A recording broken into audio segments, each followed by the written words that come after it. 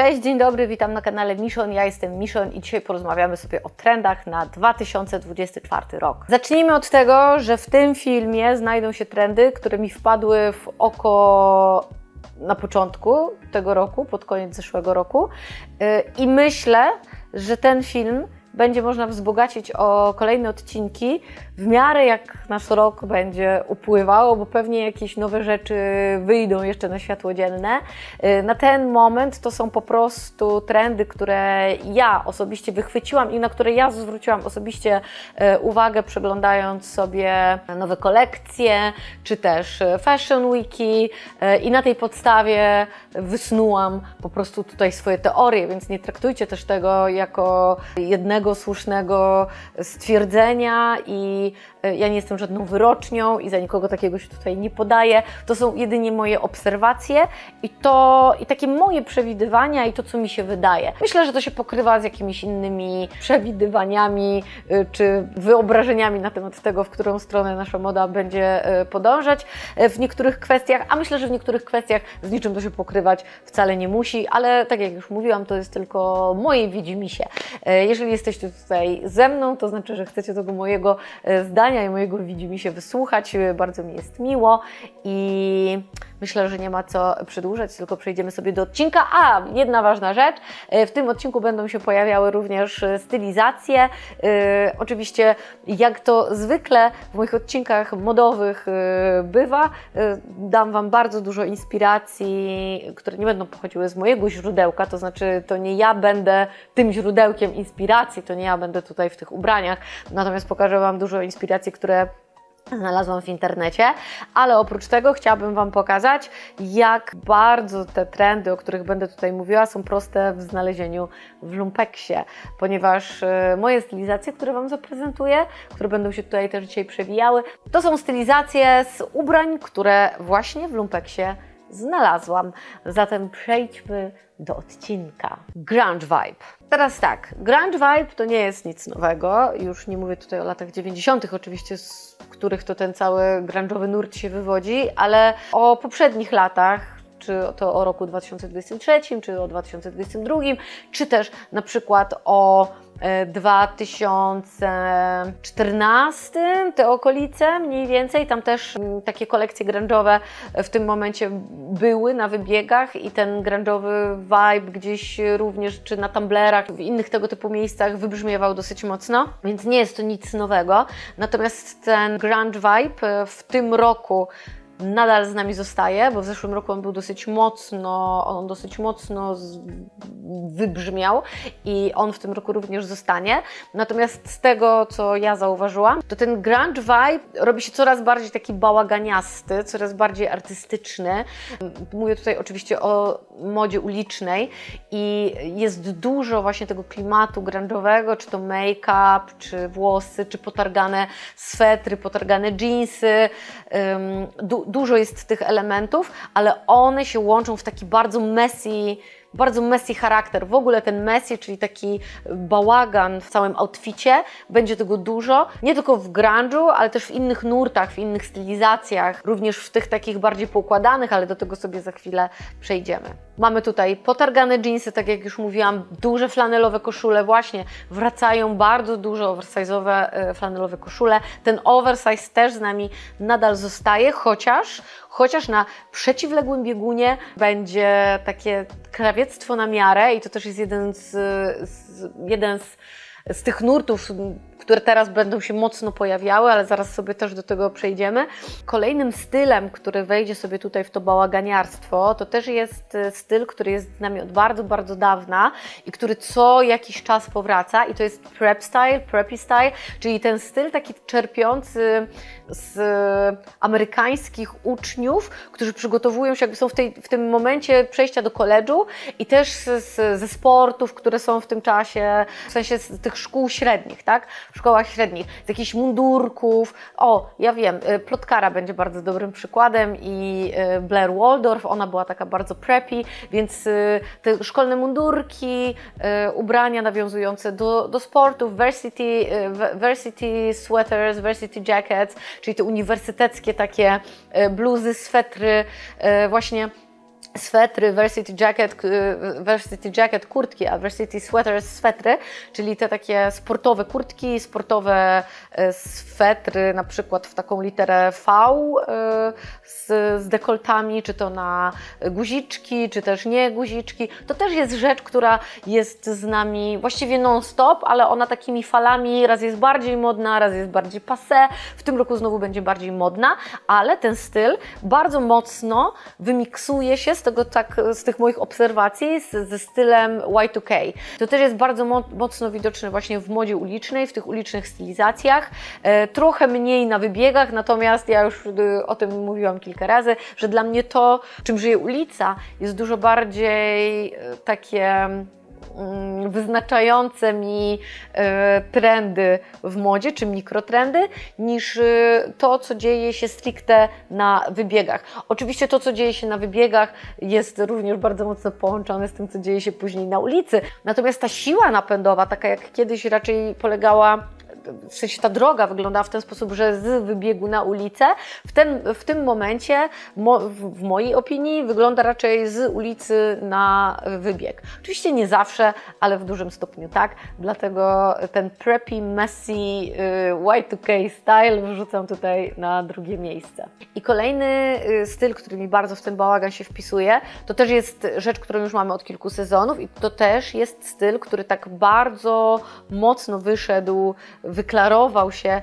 gdzieś w, w ostatnich sezonach i to jest ten taki dziadkowy, babciowy styl, taki grandpa style, z tym, że w tym roku będzie to jeszcze mocniejsze, jeszcze bardziej dziadkowe.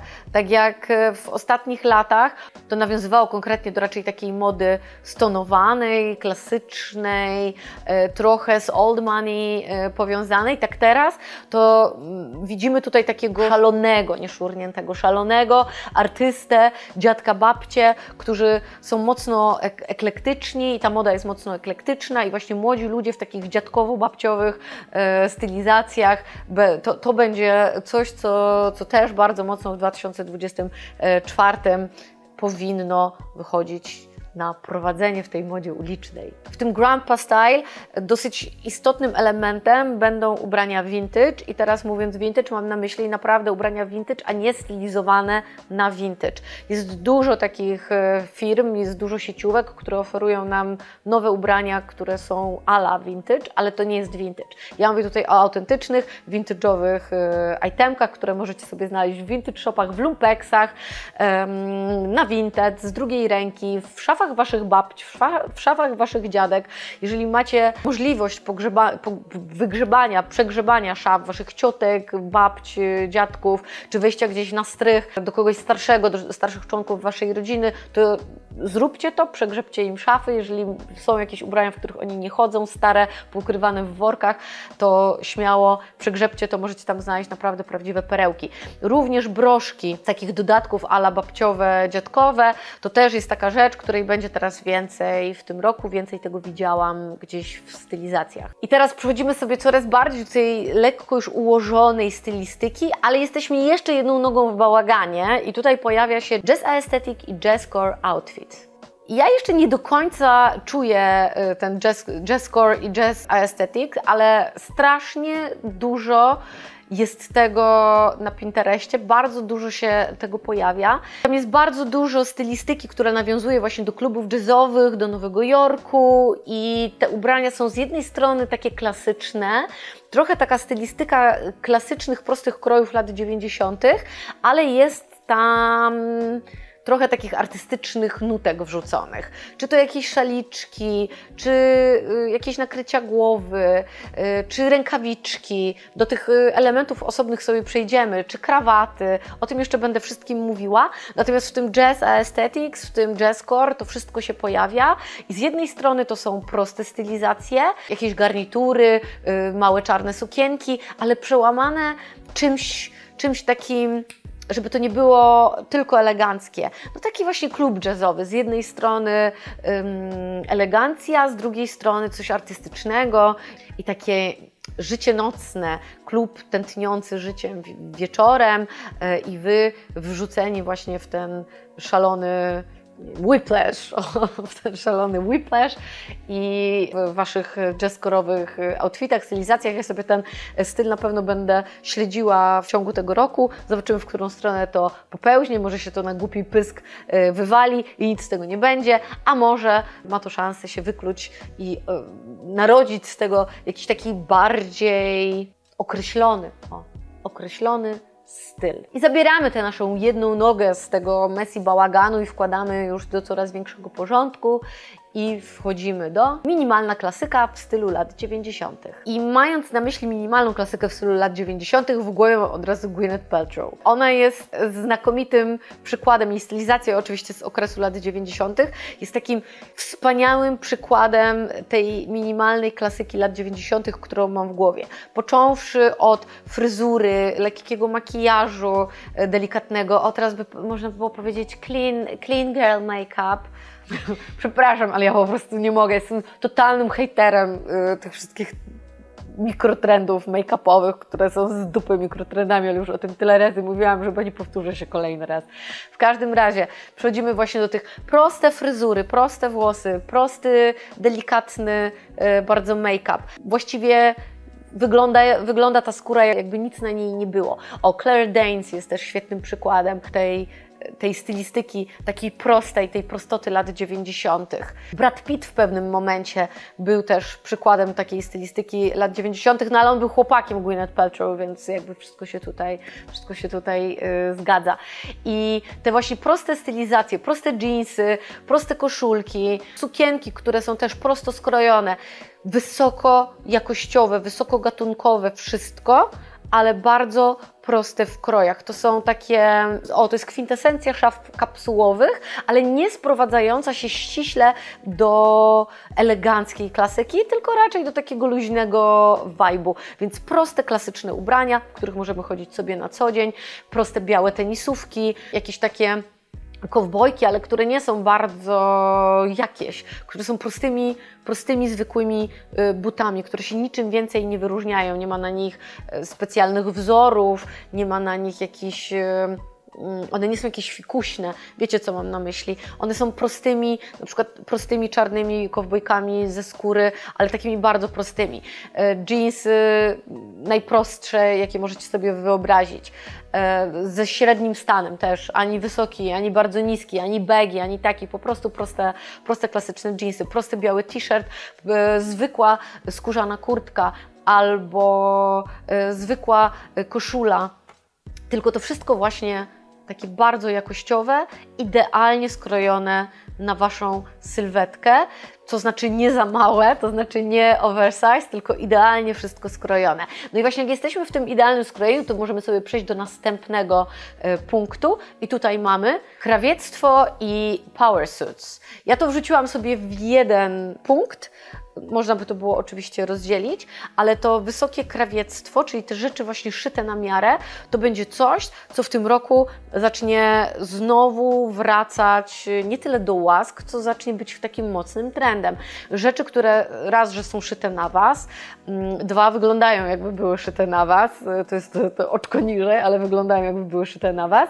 No i właśnie powrót tych power suits, tych mocnych, sylwetek w garniturach, w świetnie skrojonych garniturach, czy to kobiecych, czy męskich, to nie ma kompletnie znaczenia, y, z mocno zaznaczonymi sylwetkami. Tutaj też wracamy do tej mody lat 90. i to też y, powraca. Te moda lat 90., jak myślimy o garniturach, to nie do końca też przychodzi nam, y, nie do końca jest ten obraz szyty na miarę, bo czasami są takie przeskalowane marynarki, ale nie, nie do końca mam na myśli to. Raczej mam na myśli takiego Davida Bowie w świetnie skrojonych, y, w świetnie skrojonym garniturze. Raczej mam na myśli o Patryka Batemana, i American Psycho i mężczyzn tam w garniturach. Raczej mam ten styl, y, tę stylistykę y, w głowie niż jakieś takie przeskalowane sylwetki. Te przeskalowane sylwetki to w sumie bardziej lata 80. Mówimy teraz o latach 90. Więc te power suits, to krawiectwo na miarę, to też będzie coraz bardziej trendem. Następny punkt, który mam tutaj na liście, to tak trochę można by powiedzieć, że w tym yy, i krawiectwie, i w tych power suits, i to jest rzecz, którą już mamy z zeszłego sezonu, yy, zeszłych sezonów, czyli old money. Natomiast to old money, które widziałam teraz na wybiegach, jest takie trochę bardziej wyluzowane. Ono jest dalej preppy, ono, yy, ale jest więcej tego właśnie stylu może takiego dziadkowego, trochę więcej tego eklektyzmu się tam yy, wkrada, więc yy, trochę to old money zluzowuje gacie, przestaje być takie bardzo sztywne i, i, i bardzo, bardzo klasyczne. No nie, teraz to klasyka to po prostu przejęła lat 90., więc dołożyliśmy kolejne nazewnictwo tylko, ale to old money z nami zostaje, słuchajcie. Kolejny punkt na mojej liście to trochę wychodzimy spoza tych ram wszystkich, które tutaj już omawiałam i mam tutaj girl core. I jak myślę sobie girl core, to przychodzi mi bardzo dużo rzeczy do głowy. Barbie core był też takim mocnym girl core, ale teraz kiedy myślę o tym girl core, to w głowie nie mam Barbie, ale w głowie mam Emma Stone, z filmu Poor Things i jej stylizacje. Jej stylizacje, które są bardzo dziewczęce, yy, ale jednocześnie takie szalone, takie artystyczne, takie. No, ja byłam absolutnie oczarowana y, stylizacjami. Ja jestem w ogóle oczarowana całym tym filmem, ale jej stylizacjami byłam absolutnie oczarowana i jak myślę sobie o girlcore, to teraz mam w głowie właśnie stylizację y, z Poor Things i myślę, że jest to jest to ścieżka, którą ten girlcore będzie podążał. To jest oczywiście moje przewidywanie, ja to tak widzę. Y, jak to będzie? Nie wiem, przekonamy się, dopiero zaczęliśmy, weszliśmy w ten 2024, więc wszystko przed nami. To są moje predykcje tylko. Ten girlcore mogłabym już rzucić następny punkt, który tutaj mam, czyli baskinki, y, bo to jest konkretny element, który z tym, z tym takim girlcore bardzo mi się kojarzy, ale on mógłby się też z krawiectwem, z paroma innymi rzeczami można by to tutaj było wrzucić. I baskinki to była rzecz, która mniej więcej w 2012, 2011, 2000, tak, gdzieś tam około, około tamtych lat baskinki mocno wróciły do mody i, i w tej modzie wychylały swój łeb z każdej możliwej sieciówki. E, w, I w tym roku one znowu wracają dosyć mocno i wracają i w postaci samych pasów, i w postaci elementów e, wyko wykończenia, e, czy to jakichś żakietów, czy bluzek, e, więc tych baskinek bardzo dużo na wybiegach widziałam. Przyznam szczerze, że sama nie jestem fanką baskinek i to nie tak, że one mi się nie podobają tak od po prostu w ogóle mi się nie podobają, tylko ja nie czuję się w nich najlepiej. E, na kimś spoko, na mnie nie do końca. Sama w 2012 zaliczyłam bardzo krótki romans z Baskinką, kupiłam sobie taką jedną sukienkę, mm, którą założyłam na dzień po naszym weselu, tak, dzień po naszym weselu na obiad z rodziną. Ona była taka bardzo gotycka, ta sukienka, czarna koronkowa i miała właśnie skórzaną baskinkę.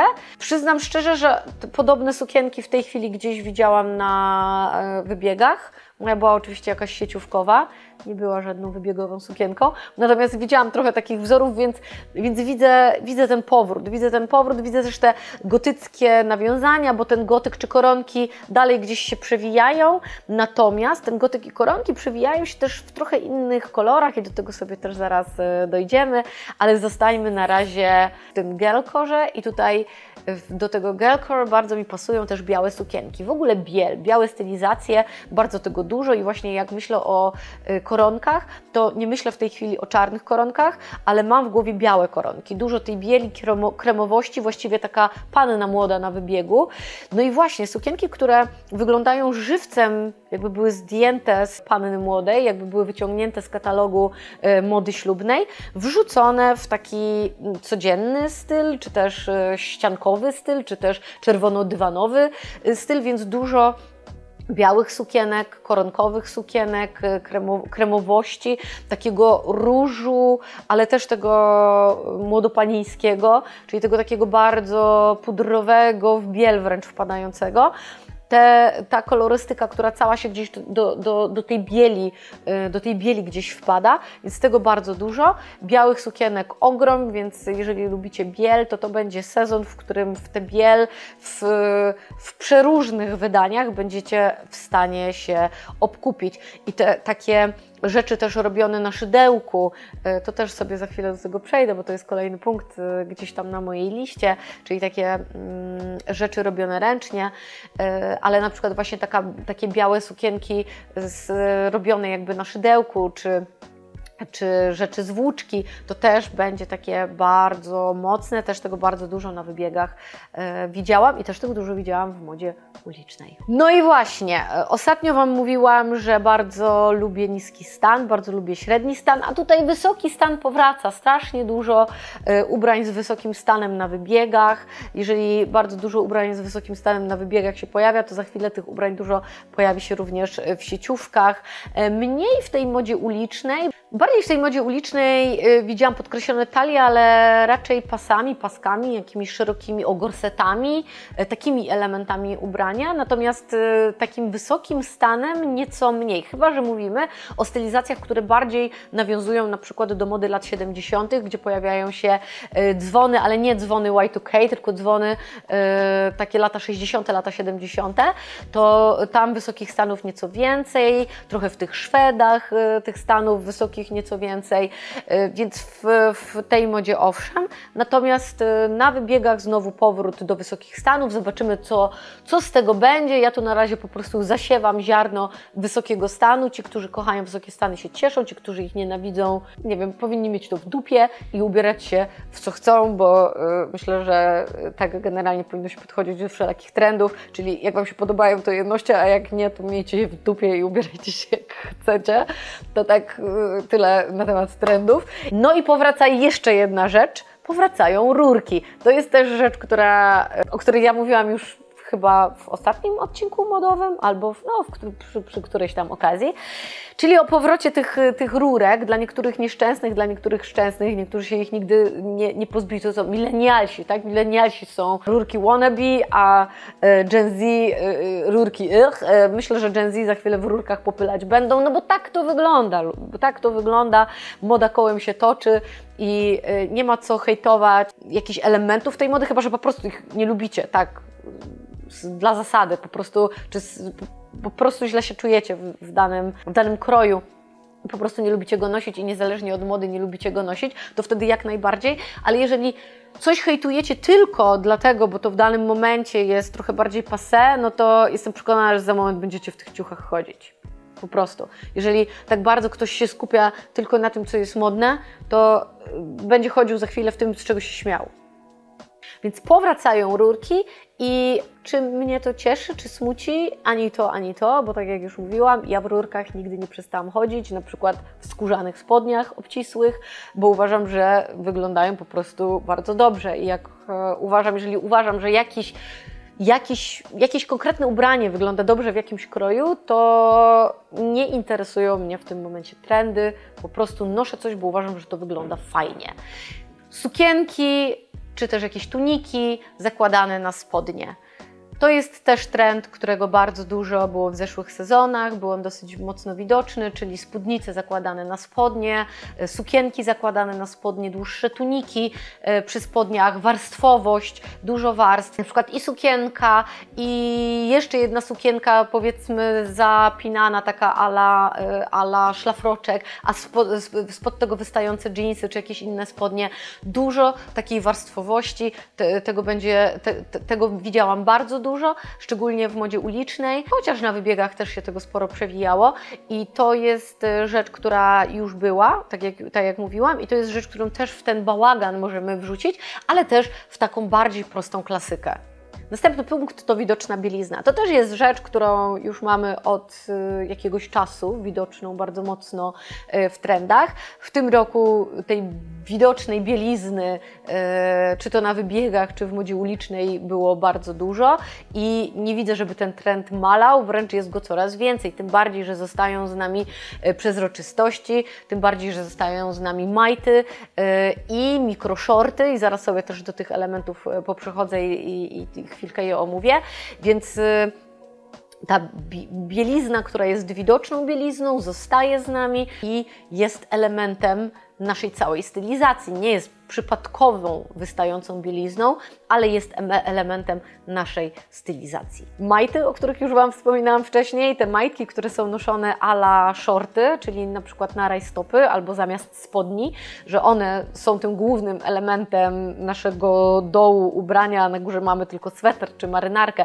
także po prostu te majtki są widoczne, wiecie o co mi chodzi. To jeżeli mówimy o, o tak widocznej bieliźnie, czyli nie tylko tam wystającym skrawku, yy, jakiejś gumy z majtek, czy z, z jakiejś koronki, czy, czy takich drobnych elementach, tylko mówię o całych widocznych majtach, to e, teraz, czego było jeszcze więcej niż, niż takich majt, właśnie mikroshortów.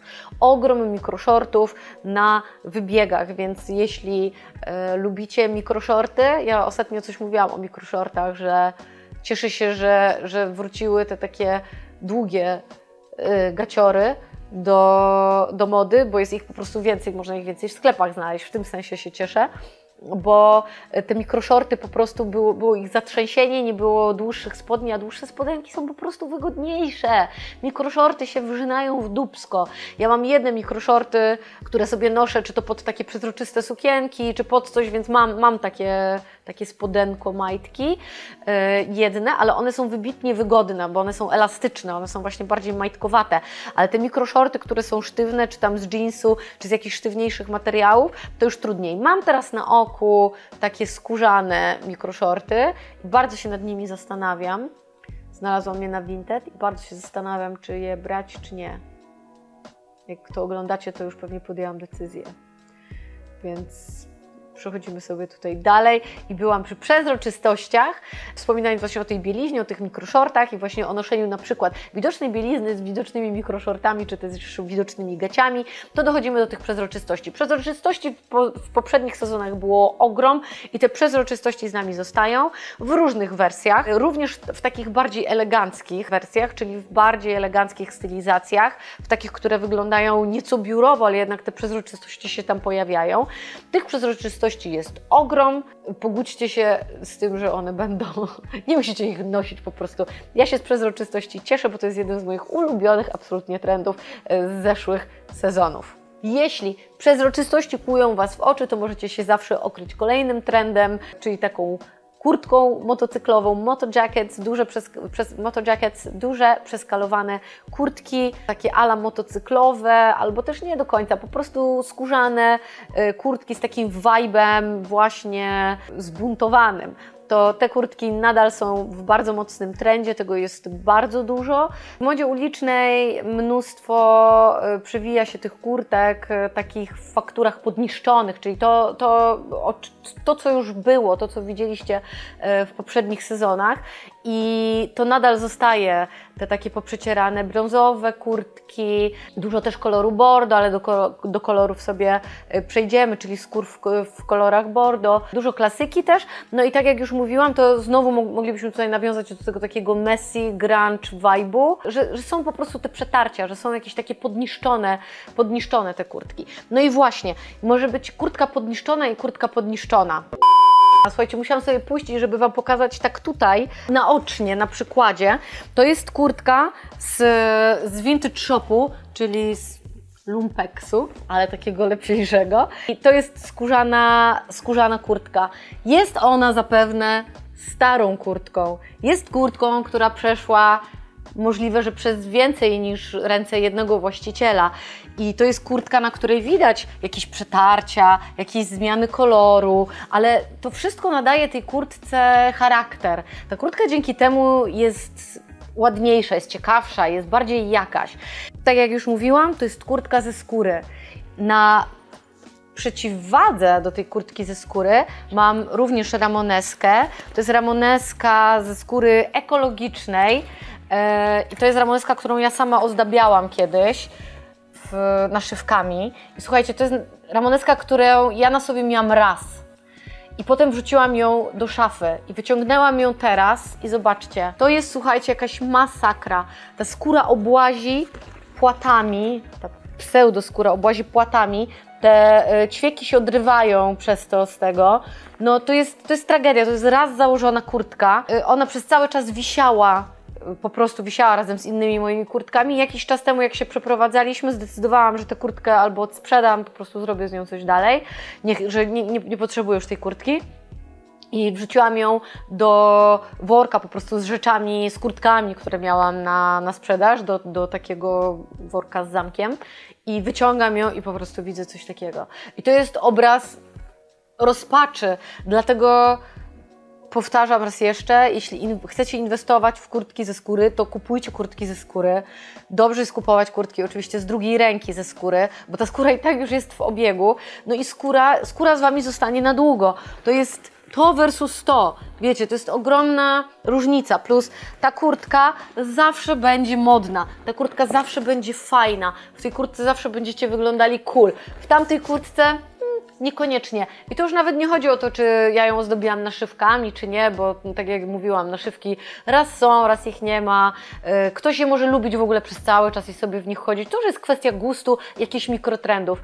A y, o takich trendach czy o klasykach, które z nami zostają, no to, to już jest jakby y, osobny temat. Inwestycja w dobrej jakości materiały uważam, że powinno, być, powinno to być trendem, niezależnie od tego, co się w danym momencie w modzie dzieje. I wszystko, co kupujecie, y, powinniście kupować jakościowe. Jak kupujecie z drugiej ręki, to też starać się kupować raczej, te, wybierać te rzeczy, które są jakościowe z wełny, z kaszmiru, z, y, ze skóry, po prostu z tych wysoko jakościowych, wysokogatunkowych e, materiałów, bo to są rzeczy, które z Wami zostaną, a nawet jeżeli nie z Wami, to ktoś inny sobie je kiedyś kupi, czy po Was odziedziczy i będzie mógł się dalej z tych ubrań cieszyć. Więc Moto Jacket z nami zostają, inwestujcie w skórzane kurtki, jeżeli już i polecam bardzo mocno z drugiej ręki. Także jeśli inwestujecie, to takie kurtki. Ta moja jest z vintage shopu Worn Out Gems. E, znajdziecie go e, podlinkowany u mnie w opisie e, na dole. Tam dużo takich różnych perełek możecie znaleźć, ale oczywiście polecam szukać wszędzie. Wszędzie, gdzie będziecie mieli okazję, no, bo sobie do futer. I futra były modne w poprzednim sezonie, w poprzednich sezonach, bo te futra także się zmieniają. To znaczy, na przykład parę sezonów temu były bardzo modne, y, różnokolorowe futra. W 2023 wróciła moda na mobwife i na taki lekko rosyjski vibe. Oczywiście Mobwife coś innego, ten rosyjski vibe coś innego, ale mogliśmy to zaobserwować w takim, o, na przykład w takim trendzie, gdzie dziewczyny ubrane w czapy futrzane i futra, coś pod jakąś taką rosyjskojęzyczną, chyba rosyjskojęzyczną e, piosenkę, coś tam robiły, nie wiem, siedziały w drugim samochodzie, albo wychodziły z drugiego samochodu, albo szły po śniegu, nie wiem. No, niesamowite po prostu e, rolki, niesamowity trend. W każdym razie po, był powrót do takich bardziej klasycznych futer i cały styl mobwife, czyli ta żona mafioza, która w tej chwili jest strasznie modna, w tej chwili, kiedy nagrywam dla Was ten film, to też y, te futra tam się bardzo mocno wpisują w tę stylistykę, właśnie te futra, które wyglądają bardziej naturalnie, czyli nie jakieś duże, fluffy, kolorowe rzeczy, a raczej te takie klasyczne y, futra. I teraz z futrami. Ja już tutaj kiedyś mówiłam. Absolutnie nie polecam nigdy kupowania futer czy rzeczy z futrzanymi dodatkami w sklepie. Nigdy. Po prostu. To jest obrzydliwe i uważam, że jeżeli nie będziemy kupowali takich rzeczy, to nie będzie na, na, to zapotrzebowania i nie będą tego produkowali. Ja wiem, że to są jakieś marzenia utopijne, ale tak sobie po prostu ja myślę i takich rzeczy nie kupuję. Natomiast to, co już jest w obiegu, jeżeli dziedziczycie futro po babci, cioci, po kimś tam, dostajecie, znajdujecie je w lumpeksie czy w, w jakimś vintage shopie, to jest zupełnie inna para kaloszy.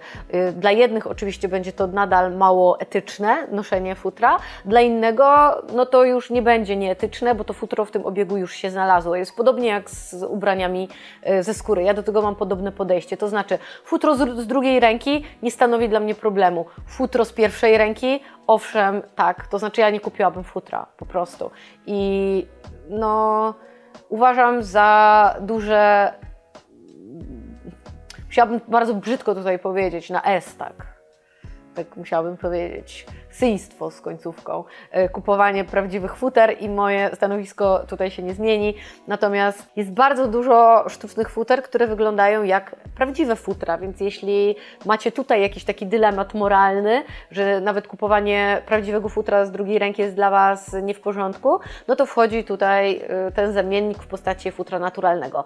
Ja mam o tyle problem z tymi wszystkimi sztucznymi, czy to skórami, czy futrami i nazywaniu ich ekologicznymi, że one nijak się mają do ekologii. Są znacznie mniej ekologiczne niż naturalne skóry, czy naturalne futra. Naturalna skóra, czy naturalne futro rozłożą się. To jest coś organicznego, to jest coś, co się rozłoży.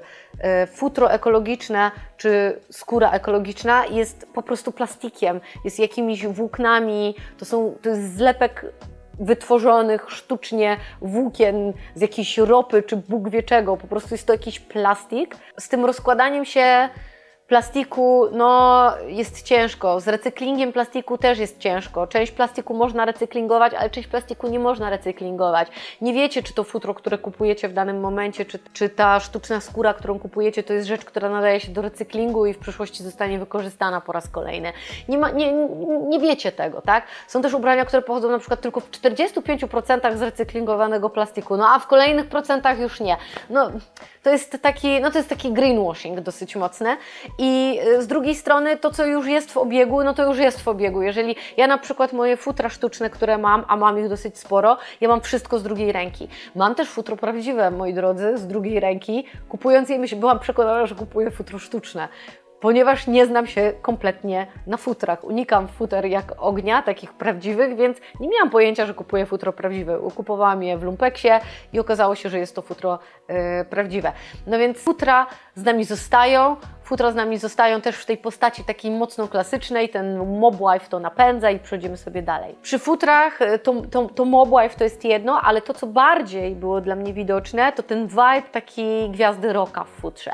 To jest trochę inny jednak vibe niż mobwife. Tutaj mam bardziej na myśli takie lata 70., lata też późniejsze, ale ten, ten vibe gwiazd rocka. I to mogą być gwiazdy rocka w stylu... Mm, właśnie takim bardziej hipisowskim, ale to mogą być gwiazdy rocka w wersji nieco bardziej współczesnej, ale tej bliższej latom, e, lat 90. czy 2000. Takie futra, które są e, bardzo rockowe. Do tego będzie sporo. Moi drodzy, jeans. Mówiłam już o jeansie, mówiłam już o jeansie z przetarciami, o jeansie, który jest zepsuty, ale dużo również na wybiegach, dużo również w modzie ulicznej widziałam jeansu, takiego jeansu z twistem, e, taki funny jeans, e, czyli jeans, na którym są nadruki. E, nie mówię tutaj o nadrukach z logiem jakiejś marki, mówię raczej o nadrukach w jakieś kwiaty, albo jeans z cekinami, albo jeans z jakimiś paciorkami, po prostu jeans z czymś dodatkowo. To nie jest mój ulubiony trend, to nie jest rzecz, w którą ja się osobiście sama chciałabym ubierać. Nie przypadam za takim funny jeans, nie przypadam za takim bardzo mocno statementowym. Max, który u mnie jest, to chyba takie dwukolorowe spodnie, to też nie zawsze, ale jeans, który jest wtarty brokat, czyli właśnie jeans z czymś świecącym, to nie jest do końca moja bajka. Jeśli Wy lubicie, to myślę, że takich rzeczy w tym roku jest szansa, że dużo pojawi się w sieciówkach. Sieciówki teraz idą bardzo mocno e, z trendami. To nie jest tak jak x lat temu, że najpierw trendy, trendy, trendy, 5 lat później dopiero w sieciówkach. To teraz jest naprawdę e, bardzo, bardzo na już, bardzo na już. Fast fashion w najczystszej formie po prostu, więc e, jeśli gustujecie w takich funny jeans, w takim jeansach z twistem, to tego powinno się teraz pojawić bardzo dużo. Southwestern Cowboy to jest kolejny nurt, kolejny duży trend, który widziałam. Dużo friendly, ale też y, nie tylko tych friendly, które to już od razu o tych friendlach powiem, bo za chwilę zapomnę. Dużo friendly w ogóle, czyli nie tylko tych friendly właśnie Southwestern, Western Cowboy, ale też takich friendly cienkich, friendly delikatnych. Y, dużo friendly przy ubraniach, to, tego się na pewno mnóstwo pojawi.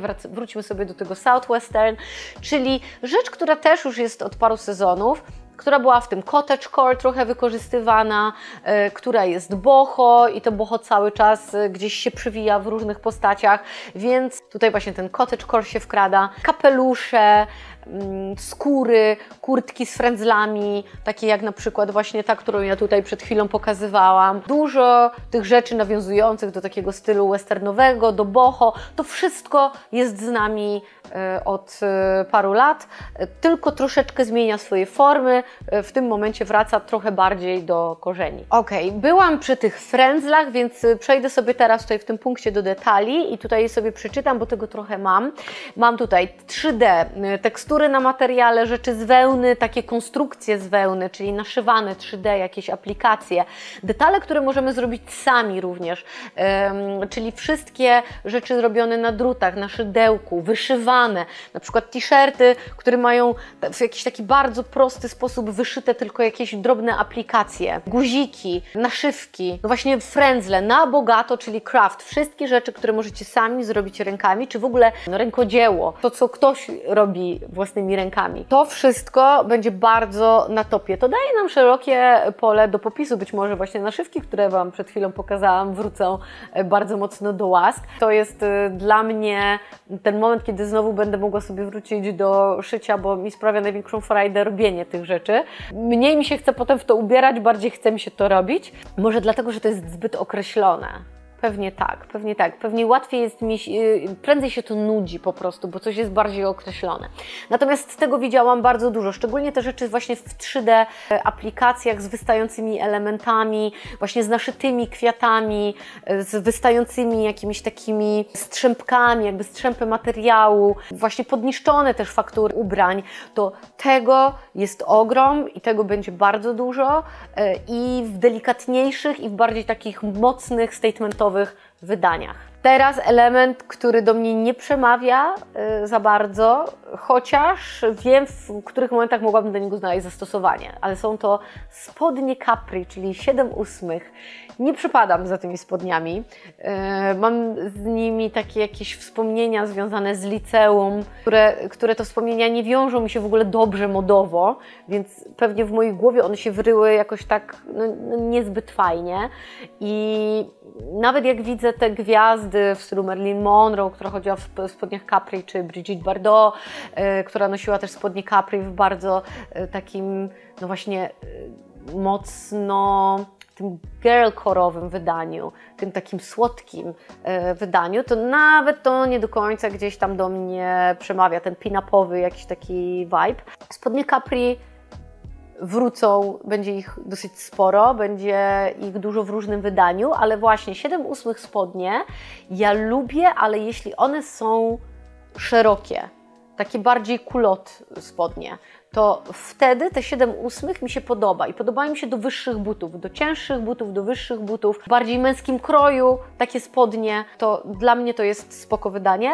W tym takim rybaczkowym wydaniu nie do końca mój vibe, nie do końca mój vibe. Dajcie znać, co Wy uważacie o rybaczkach. Jestem ciekawa Waszego zdania, bo to jest taki dosyć kontrowersyjny temat, te rybaczki. Przejdę sobie teraz do wzorów. I oczywiście krata jest czymś ponadczasowym, krat się teraz dużo pojawiało, y, krat jest naprawdę mnóstwo i krat mnóstwo będzie zawsze, bo krata jest czymś ponadczasowym, krata jest klasykiem, a to, co w takim natarciu, również dosyć klasycznym i powracającym ciągle, ale czego teraz jest tak bardzo modowo dużo, to przede wszystkim centki, e, wąż i prążki.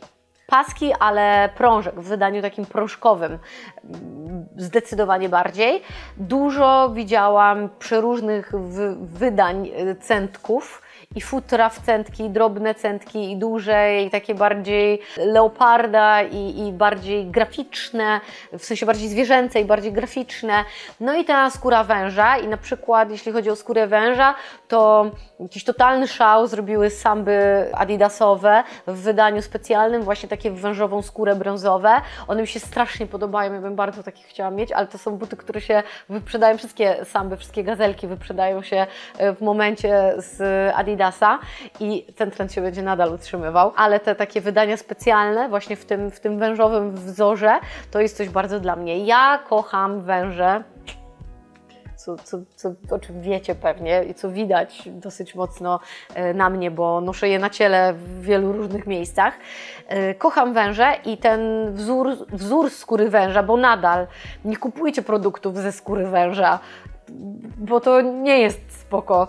Dobrze, że duże marki też się wycofują z robienia torebek czy butów ze skór gadzich, e, ze skór zagrożonych gatunków, no bo to było no, kuriozalne, że możecie sobie kupić jakąś torebusię na zapisy, która jest zrobiona z jakiejś skóry rzadkiego pytona. No, no straszne to jest. Wzoru węża możecie szukać śmiało również w lumpeksach, w ogóle te wzory centki, prążki. Ja mam na przykład świetną, e, o widzicie tutaj marynarkę w tenisowy prążek e, z, z Vinted, która jest prawdopodobnie z lumpeksu, bo kupowałam to w takim zdecydowanie lumpeksie e, wintedowym.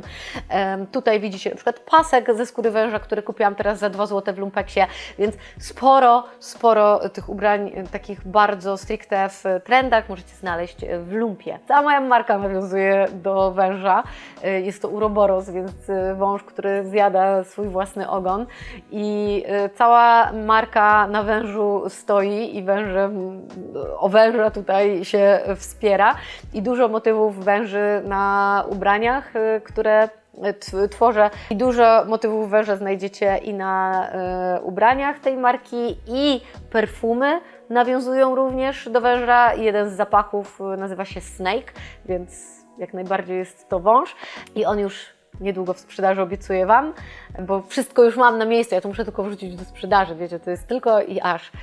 Więc y, moja marka cała wężem stoi i Wy tych węży możecie sobie szukać śmiało y, w lumpeksie i kupować je u mnie na stronie. Zostajemy sobie teraz przy materiałach, ale omówiliśmy sobie wzory, to teraz omówmy same materiały. Mam tutaj metalik, mam cekiny, mam błysk, mam jeans i mam skórę wypisane, czyli tak właściwie, słuchajcie, nic się nie zmieniło. To już jest z nami od poprzednich sezonów i to nadal zostaje. Ten jeans zostaje, skóra zostaje, y, cekiny, dużo, dużo nadal błysku i cekinów, też w przeróżnym wydaniu, też y, z frędzlami. Y, jakby te rzeczy, o których ja tutaj mówię, one się łączą ze sobą również. Czy te aplikacje 3D, te, te wszystkie rzeczy możecie połączyć w jedną kulkę i stworzyć z tego po prostu jakieś konkretne ubranie. Ja tutaj nie mówię o tym, że to jest pojedynczo modne. To jest po prostu ogólnie, to są jakieś y, ogólne rzeczy, które ja powychwytywałam. Metalik nadal zostaje, co też jest dobrym znakiem dla osób, które się w ten metalik obkupiły, bo jeszcze przez chwilę y, będziecie bardzo w trendzie, a potem znowu będziecie ten metalik zamykać na kolejnych 10 lat y, do szafy, żeby po 10 latach znowu ten metalik wypuścić, bo to taka, tak mniej więcej wygląda.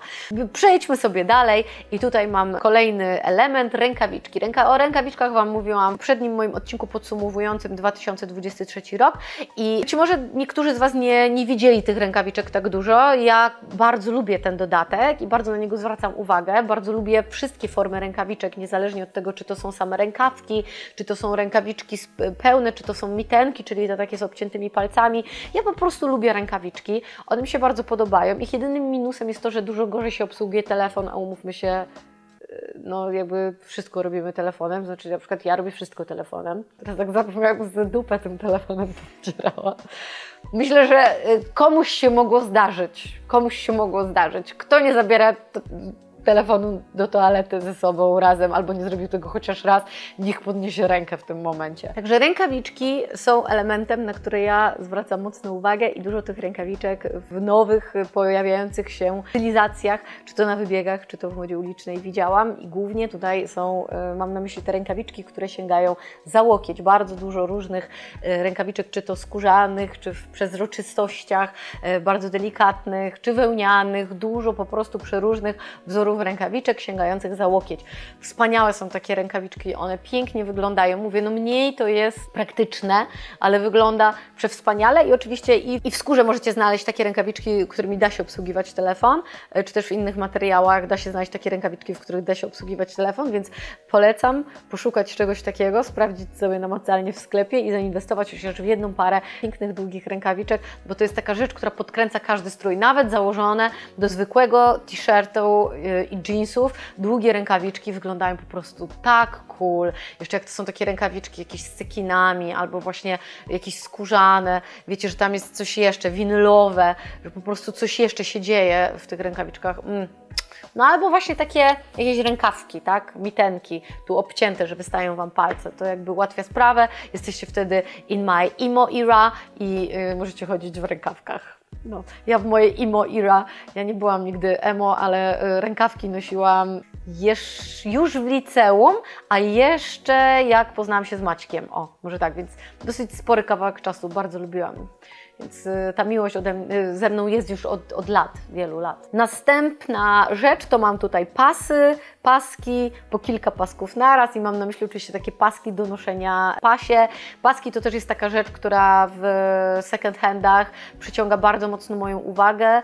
Y, to już też Wam mówiłam, że ze względu w dużym stopniu na to, że ja po prostu lubię paski i lubię takie paski, które robią nam całe ubranie, które mają jakieś klamry duże. Może widzieliście u mnie takie paski z klamry kamerą z owadami, czy z jakąś głową kota. Y, lubię jakieś określone paski. Lubię też bardzo klasyczne paski i szukam po prostu zawsze w lumpeksach pasków ze skóry, bo w lumpeksie płacicie za nie jakieś 2-3 zł i yy, no, w sklepie dla porównania 200-300 zł w górę, tak? To mniej więcej taka jest różnica cenowa. Biorę po prostu wszystkie paski jak lecą, bo pasek nam jest w stanie zrobić cały outfit.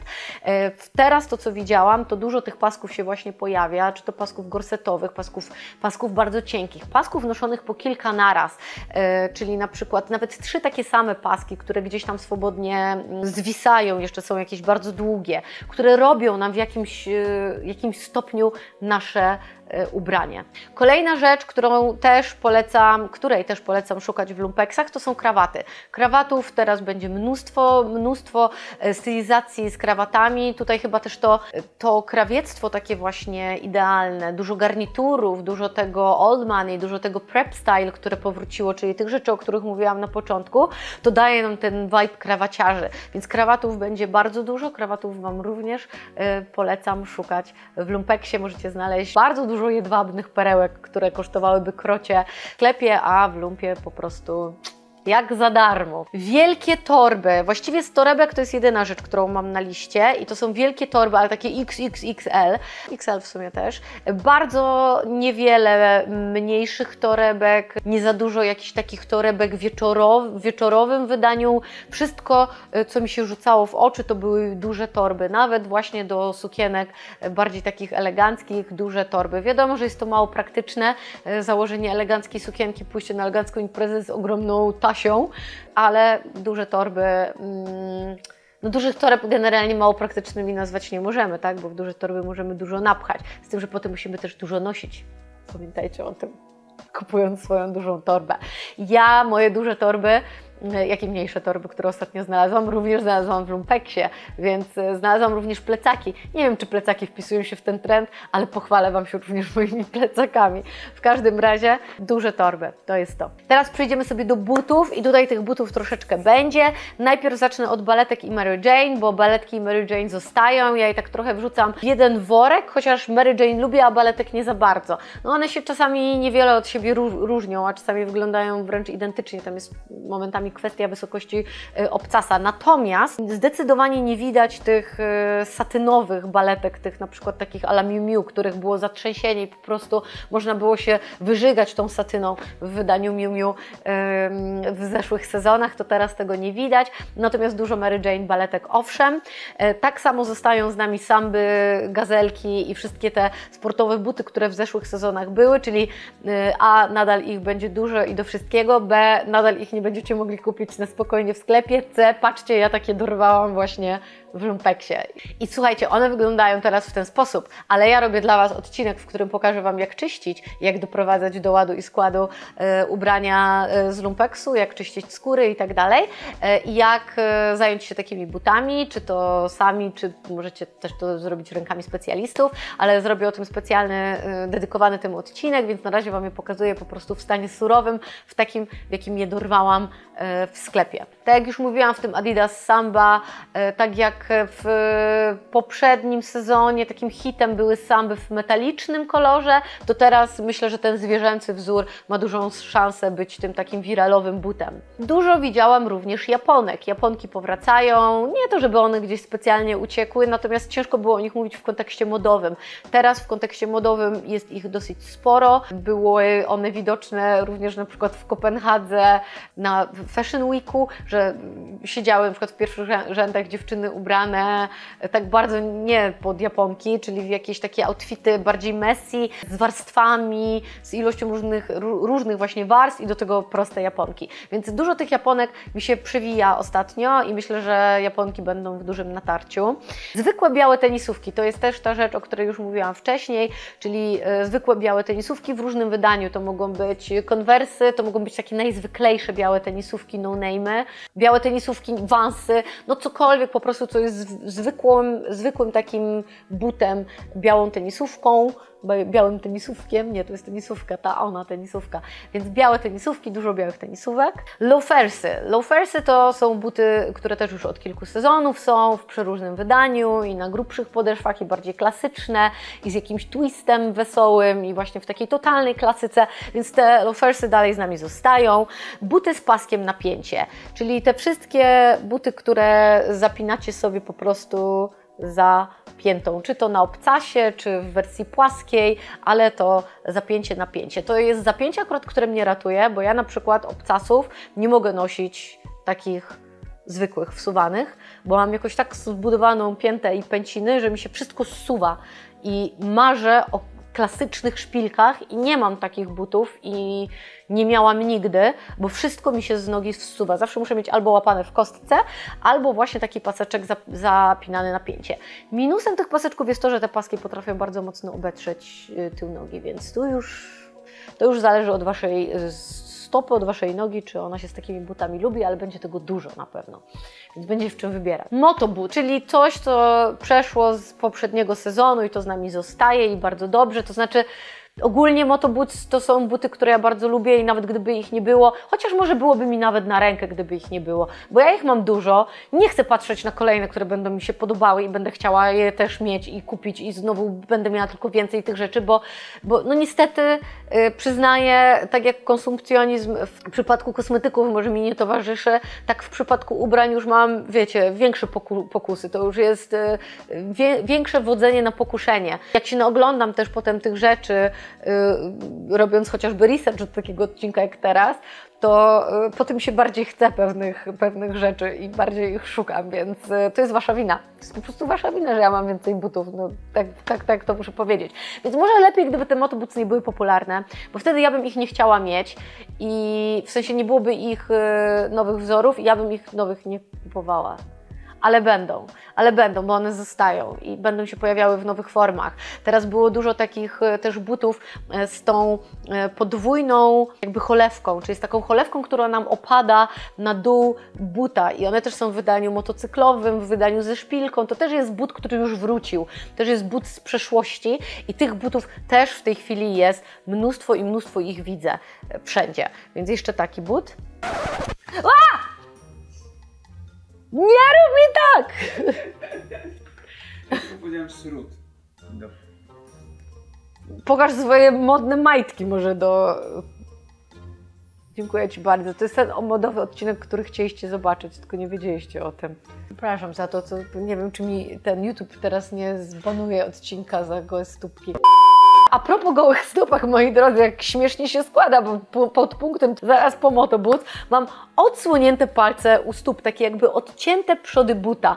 I to są bardzo często długie buty, kozaki, e, często z taką przylegającą ściśle do łydki e, cholewką, z odciętymi palcami. W sensie wasze palce tam wystają żeby nie było. Odcięty jest tylko przód buta i one mają często też formę japonek dodatkowo. Dla mnie to jest troszeczkę koszmarek. To znaczy, mm, ja trochę nie rozumiem tych butów, bo z jednej strony poci Wam się noga w tym bucie y, u góry, ale z drugiej strony jest Wam zimno w palce, więc na jaką porę roku do cholery jasnej są te buty? Na żadną. To są buty modowe, żebyście w nich wyszli na Fashion Weeku, a potem o nich zapomnieli, bo za chwilę one staną się jakimś koszmarkiem modowym. Myślę, że jest to jeden z mikrotrendów, który tak szybko jak wskoczył, tak szybko zniknie, ale muszę o nim wspomnieć, bo jest tego od cholery w różnych stylizacjach widziałam. Więc y, idziemy dalej. Kitten Hills, czyli te takie malutkie obcasiki, Kitten Hills, które bardzo mocno w te różne girly-korowe y, sytuacje, czy właśnie cottagecore, czy coquette y, na przykład y, stylistykę, we wszystko to bardzo mocno y, te Kitten Hills się w, wżerają, wchodzą tym swoim małym obcasikiem. Również w klasyczne kroje tych Kitten Hills bardzo dużo, do rybaczek Kitten Hills, więc ten, ten malutki obcasik pojawia się teraz w zatrzęsieniu, będzie tego mnóstwo, będzie tych butów mnóstwo. Wysokie cholewki i ciężkie buty. E, to też jest rzecz, która zostaje od iluś sezonów. Bardzo dużo butów z wysokimi cholewkami, z właśnie też ciężkich bardzo butów, wysokich butów w grunge'owym vibe, butów z grubymi podeszwami, e, no i właśnie butów z wysokimi cholewkami. Nie tylko ciężkich, również w postaci kozaków. Bardzo się to uzupełnia chociażby z tym długością 7,8 ósme. E, dobrze się, dobrze się takie maczują wysokie buty z, z tą taką niepewną długością, nazwijmy to. E, I dobrze się też maczują z warstwami, bo możecie sobie te warstwy nabudować, gdzieś coś podpiąć i buty Wam robią czasami za spodnie, jeżeli już taką naprawdę długą cholewkę w bucie znajdziecie. Na sam koniec zostawiłam sobie kolor, a właściwie kolory, bo jest ich kilka i myślę, że te kolory wraz z upływem roku jeszcze coś może do tego ale to, co na ten moment wychwyciłam, to oczywiście pomijając biel i czern, które są zawsze klasyczne, to no, bieli jest teraz bardzo dużo, bieli jest teraz trendem, więc o bieli, ale już o bieli Wam wspominałam, więc nie mówiąc tutaj o tych takich super, super klasykach, to Mamy tutaj Peach Fuzz jako kolor na 2024. Peach Fuzz, czyli ta taka brzoskwinia, ale w konkretnym odcieniu. Tu ją macie. O, proszę bardzo, taka. No nie jest to yy, mój kolor, w którym ja się czuję i wyglądam dobrze, ale jeśli Wy to śmiało korzystajcie z tego, że Peach Fuzz ubrań w tym sezonie może się pojawić dosyć sporo. Zostaje z nami czerwień. E, I czerwień to też mi się wydaje, że jest jednak bardziej klasykiem, wydaje mi się. Jestem pewna, że czerwień jest e, klasykiem, ale czerwień jest taka powracająca, tak jak czerwień jest zawsze. W czerni po prostu wygląda się zawsze modnie, nazwijmy to w ten sposób, to ta czerwień ma jednak takie swoje, e, o, pulsacyjna jest tak jak ten kolor czerwony pulsuje, tak ona się pulsacyjnie pojawia również w modzie. Coś jak krata. I e, niebieski. Dużo niebieskiego w przeróżnych odcieniach, od takiego e, kobaltowego przez jeansowy po taki baby blue, e, delikatny, e, delikatne jakieś takie e, odcienie niebies niebieskiego, więc dużo tego niebieskiego. Bardzo dużo pasteli ogólnie. Ten pitch fuzz już tam o te pastele zahacza, ale w ogóle wszystkie kolory właściwie, jakie możecie sobie wyobrazić, ale w przełożeniu na pastele. I bordo, który już się pojawił w zeszłym sezonie jako taki bardzo y, modowa, bardzo taka modowa rzecz, to bordo teraz też w natarciu dużo bordowych skór, dużo bordowych ubrań od stóp do głów, w ogóle dużo bordo, bordowe płaszcze, dużo, dużo bordo. To by było na tyle, moi drodzy. Kończymy, kończymy kolorami. Do tej listy myślę, że coś dojdzie w ciągu roku. Dajcie znać, co Wy zauważyliście, że zaczęło się pojawiać gęściej, czy śledząc ostatnie Fashion Weeki, e, czy, czy na coś bardziej zwróciliście uwagę, czy oglądając ostatnie um, pokazy mody, czy na coś zwróciliście uwagę, czy na tej, w, te, w tej modzie ulicznej zwróciliście na coś większą uwagę. Y, czego Wy będziecie szukali w tym roku w sklepach, bądź też w lumpeksach. E, no i, i tyle. I zapraszam Was do innych odcinków, w których będę się chwaliła po prostu. To będzie lumpeksowa braga w następnych odcinkach. Dziękuję Wam za uwagę. Do zobaczenia. Pa!